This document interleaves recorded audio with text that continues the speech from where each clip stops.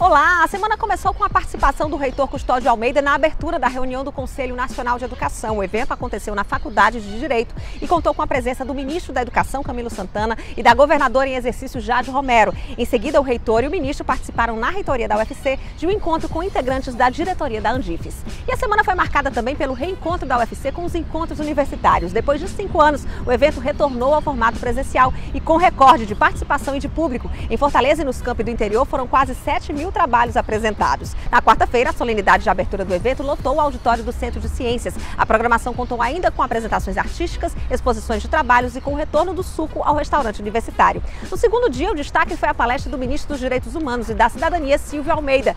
Ele falou sobre o tema dos encontros universitários e foi acompanhado por uma multidão. E logo mais às seis da noite acontece aqui na Concha Acústica o encerramento do evento com muita música. A gente espera vocês. Até lá!